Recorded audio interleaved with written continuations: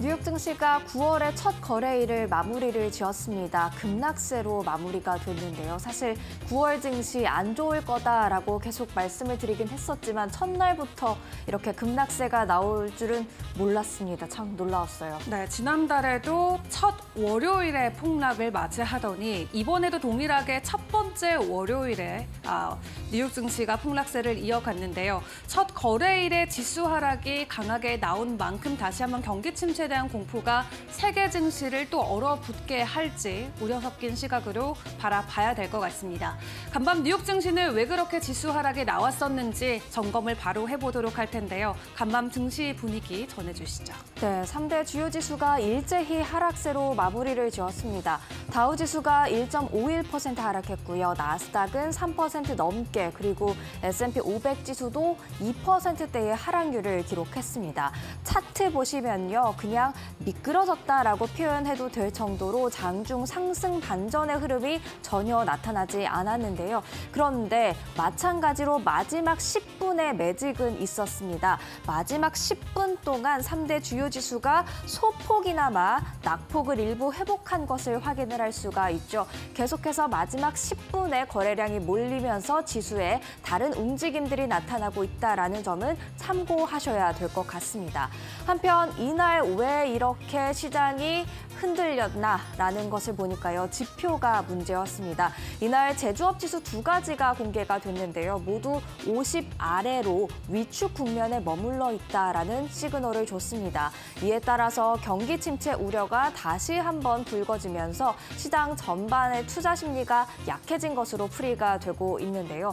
이로써 이번 주에 발표될 다른 지표들의 중요성이 더더욱 커졌습니다. 일단 4일에 연준의 베이지북이 공개되는데 경기 동향을 담은 보고서가 되겠죠. 지표가 이렇게 안 좋게 나오고 있지만 연준은 또 미국 경기를 어떻게 바라보고 있는지 가늠할 수 있을 것으로 보여지고요. 그리고 현지 시간 5일에는 ADP 고용 보고서와 S&P 글로벌 서비스업 PMI가 나옵니다. 일단 제조업 PMI 부진하게 확인이 됐는데 미국 경제에서 더 큰 비중을 차지하는 건 제조업보다는 서비스업이기 때문에 과연 서비스업 PMI는 어떻게 나올지 도 지켜보셔야 될 것 같습니다.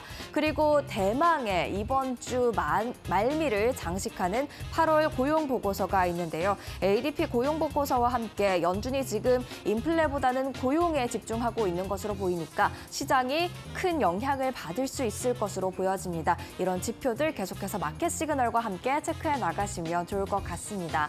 일단 시장 전반적으로 부진했던 가운데 전체적인 흐름도 한번 체크를 해보겠습니다. 기술주가 급락세를 피하지 못했습니다. 애플이 2% 넘게 하락했고요. 마이크로소프트도 1.8%, 엔비디아는 무려 밤사이에 9% 이상의 급락세가 나왔습니다. 다른 반도체주 전반도 꽤 큰 하방 압력을 받았고요. 알파벳도 4% 가까이, 메타가 1.83%, 아마존이 1.2%, 테슬라도 1% 이상의 하락률을 기록을 했습니다. 보시면 전반적으로 기술 섹터에 강한 하방 압력이 가해졌다라는 것을 알 수가 있었는데요. 대신 방어주에서는 좀 상승하는 종목들의 눈길이 띄었습니다. 필수 소비재 섹터 중에서도요. 최근에 많이 올랐던 월마트와 코스트코 제외하고 프록토앤갬블이라던가 펩시코라든가 기타 이런 종목들의 상승세가 눈에 띄었고요. 통신주도 대표적인 방어주죠. 통신주도 상승을 했고 헬스케어 쪽에서도 상승한 종목들이 눈에 띄었고요. 그리고 유틸리티도 방어적인 성격이 강합니다. 유틸리티 섹터에서도 상승 종목 한 그런 모습들이 확인이 되고 있습니다. 그렇다면 이어서 조금 더 종목별 흐름 자세하게 들어가 보도록 하겠습니다.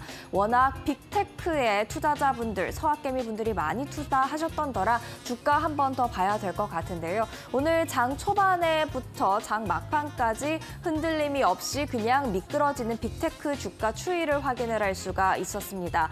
경기 침체에 그래도 돈을 꾸준히 벌 수 있는 빅테크에 대한 기대감이 남아있을 수 있겠 지만 일단은 많이 올랐던 만큼 침체 우려로 위험 자산에 대한 선호도가 하락할 때 차익 실현 먼저 나서자라는 분위기가 형성이 되면서 주가 하락하지 않았나 생각해 볼 수 있을 것 같습니다. 계속해서 다른 특징주도 한번 살펴봐야 될 것 같은데요. 이날 반도체주가 급락을 했죠. 엔비디아를 비롯해서 브로드컴, AMD, 퀄컴, 텍사스 인스트루먼트, 마이크론 테크놀로지 모두 크게 하방 압력을 받는 모습들이었는데요. 사실 시장 전반의 투자 심리가 안 좋았던 이유도 있겠지만 또 다른 이유들도 있었습니다. 중국에서 제조업이 4개월째 위축세 이어가고 있으면서 중국 경기에 대한 불안감이 지금 전 세계에 만연해 있죠. 이렇기 때문에 반도체 또 큰 손인 중국이 불안하다 보니까 반도체주에 대한 투자 심리가 좀 안 좋았을 수 있고요. 그리고 미 반도체 산업협회가 통계를 제시를 했는데 7월 반도체 판매가 11.1% 감소했다고 합니다. 이 수치 5년, 10년 평균에 못 미치는 수치이기 때문에 반도체주에 대한 불안감을 좀 더 자극했을 수 있겠다라는 생각이 듭니다. 그렇다면 방어주는 어떤 흐름을 보였을까요? 전체적인 지도를 통해서도 확인을 해봤지만 개별 종목으로 한번 보시죠. 사실 지금 대부분이 다 빨간색, 그러니까 상승했다라는 것을 알 수가 있는데 필수 소비재 섹터에서도 많이 올랐던 종목은 좀 하락을 했지만 그래도 필수 소비재 안에서도 강한 상승 흐름이 나타났고요. 헬스케어와 유틸리티 그리고 통신주까지도 상승한 종목들이 많았다라는 것을 확인을 해볼 수가 있겠습니다. 이 중에서 특히 통신주 같은 경우에는 AI 테마와도 일부분 엮여 있기 때문에 방어적인 성격과 AI에 대한 기대감을 함께 가져갈 수 있다는 점에서 좀 주목해 볼 만하지 않을까 생각해 볼 수가 있겠습니다. 이렇게 시장 전반에 대한 이야기를 해봤는데요. 화요일 장에서도 이슈에 따라 움직이는 종목들 있었습니다. 확인 한번 해보시죠. 일단 슈퍼 마이크로 컴퓨터 조금의 상승세 보였습니다. 0.93% 밤사이에 올랐는데요. 힌덴버그가 공매도에 나섰다라는 소식이 전해진 이후 급락세를 면치 못했는데 이날 CEO가 힌덴버그 리포트에는 오류가 있다라고 이야기를 했고요. 2024년 회계년도 실적에 문제가 있어서 회계 연간 보고서 제출이 지연되는 것은 아니다라는 입장을 밝히면서 주가 소폭의 반등세를 보였습니다. US 스틸은 지금 해리스 부통령도 매각에 반대한다라는 소식이 전해지면서 밤사이에 6% 이상 하락을 했고요. 트럼프 미디어 앤 테크놀로지 7% 이상의 하락률을 밤사이 기록했습니다. 지지율이 지금 해리스 부통령에 밀려서일까요? 상장 이후 최저치를 기록하고 있는데요. 사실 올해 4월과 5월에는 반등 흐름이 조금 나타나는 듯 했습니다만 7월부터 꾸준히 하락세를 이어가고 있는 트럼프 미디어가 되겠습니다. 이어서 국채금리 확인을 해보겠습니다. 국채금리는 내림세로 반응을 했습니다. 10년물이 3.849%로 그리고 2년물이 3.888%로 내려오는 모습들이었는데요. 국채, 안전자산인 국채에 대한 매력도가 커지면서 금리는 하락한 것으로 해석되고 있습니다. 이어서 마지막으로 국제 유가와 국제 금값 확인해 보겠습니다. 둘 다 하락하는 모습들이었습니다. 특히 WTI는 배럴당 70달러 선까지 꽤 크게 하락을 했는데요. 10월부터 오펙 플러스가 공급량을 늘릴 것으로 생각되는 반면 지금 수요가 그만큼 따라가지 못하다 보니까 과잉 공급 우려에 계속해서 하방 압력을 받고 있는 모습들입니다. 그리고 지정학적 이슈와 연준의 9월 금리 인하가 점쳐지면서 금값 상승세 계속해서 달려왔는데 이날은 소 소폭 쉬어갔죠. 고용 지표를 확인한 이후에 또다시 움직일 수 있다는 점 체크하시면 좋겠습니다. 이어서 이렇게 화요일장 정리 마무리를 해보고요. 조금 더 자세한 이야기 글로벌 마켓센터의 이주영 기자와 함께 이야기해 보겠습니다. 안녕하세요. 안녕하세요. 네, 사실 9월 시장이 안 좋을 것이다라는 이야기 계속해서 보도로 접했었는데 실제로 보니까 그런 것 같습니다. 지금 월가에서는 9월에 대해서 어떤 이야기들이 나오고 있나요? 네, 9월 증시 첫 거래일부터 쉽지는 않았습니다. 역사적으로 9월 시장은 부진했다는 통계가 있는데요. 1950년부터 S&P 500 지수를 보면 매해 9월 성적은 평균 0.7% 하락했다는 통계도 있고요.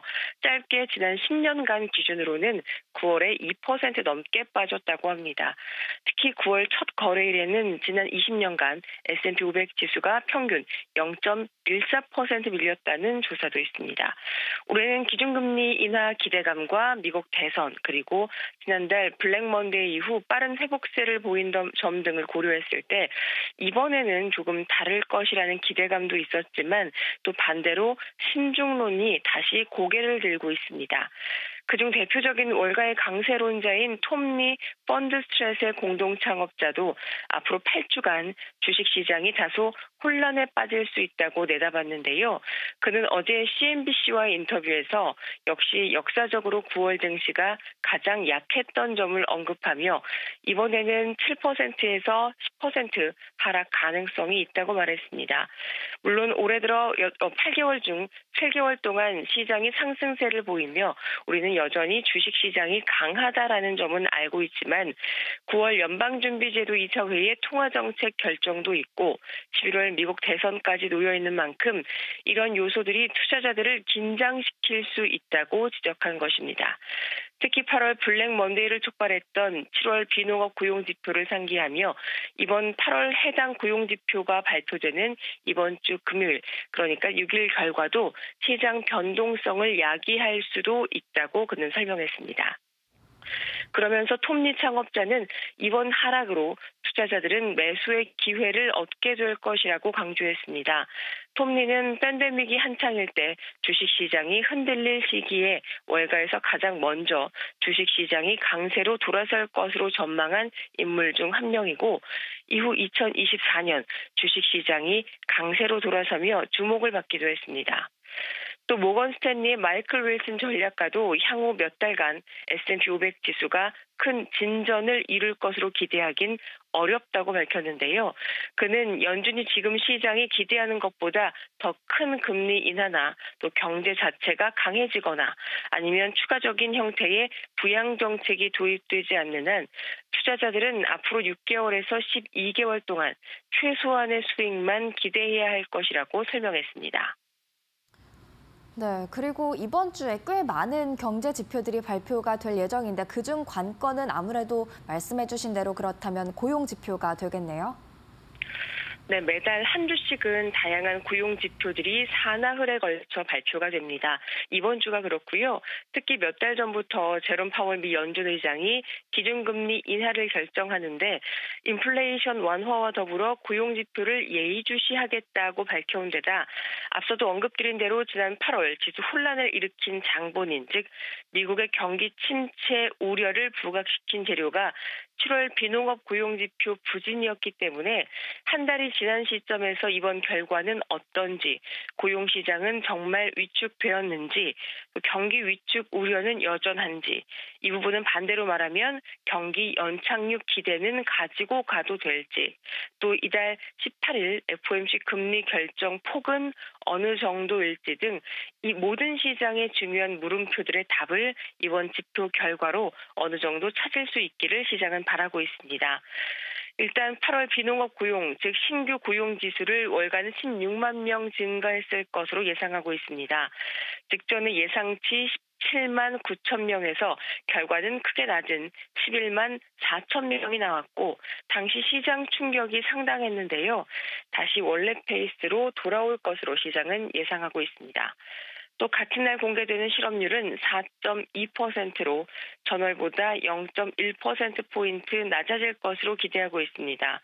물론 일각에서는 이 비농업 고용이 10만 명 아래로 내려가거나 실업률이 4.4%에서 4.5% 사이까지 상승한다면 9월 통화 정책에서 50bp 금리 인하 가능성은 더 커질 것이라는 시나리오를 내놓기도 했습니다.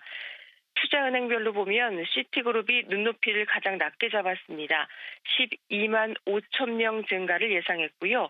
이어 노무라증권이 13만 명 증가에 실업률은 4.2%, 그리고 모건 스탠리는 지난 7월 11만 4천 명이라는 부진한 수치는 허리케인 베럴과 텍사스 지역의 정전으로 인한 일시적인 변수 때문이라고 분석하기도 했는데요. 고용시장 성장세는 둔화되고 있지만 지난 7월 수치는 이 추세를 다소 과장한 결과였다며 이번 8월에는 18만 5천 명 증가를 기대하고 있었습니다. 금요일 발표되는 이 두 지표 이외에 오늘 우리 시각으로 밤 11시에는 7월 구인 이직 보고서가 공개되고 또 다음 날인 5일에는 ADP 민간 고용과 매주 나오는 주간 실업수당 청구 건수가 공개될 예정입니다. 네, 경제지표 일정 살펴봤고요. 그리고 실적 시즌 막바지에 이르렀습니다만 이번 주에도 실적 공개하는 기업들이 있죠. 네, 많은 종목들의 실적 발표가 지나간 만큼 이번 주 상대적으로 일정이 많지는 않습니다. 오늘 밤에는 미국 스포츠용품 매장 체인인 딕스 스포팅 굿즈와 또 미국판 다이소라고 볼 수 있는 달러트리가 실적을 내놓을 예정이고요. 목요일에는 브로드컴과 니오가 있습니다. 브로드컴은 많은 투자자분들도 주목하실 텐데요. 어제 JP모건은 2024년 회계연도와 어, AI 반도체 부분의 매출 전망치를 기존 110억 달러에서 120억 달러로 상향 조정하며 AI 제품에 대한 수요가 꾸준히 증가하고 있다고 평가했습니다. 이번 분기 실적 전망치는 주당 순위 EPS 기준으로 1.21달러와 매출액은 129억 7천만 달러가 예상되고 있습니다. 또 같은 날 어제 중국 전기차 판매량 증가 소식 발표를 했던 니오나 글로벌 스포츠웨어 용품인 UI 패스가 마지막으로 금요일에는 미국의 종합 유통기업인 크로거가 분기 실적을 공개할 것으로 알려졌습니다. 네, 지금까지 이주영 글로벌 마켓센터 기자와 함께했습니다. 말씀 감사합니다. 감사합니다.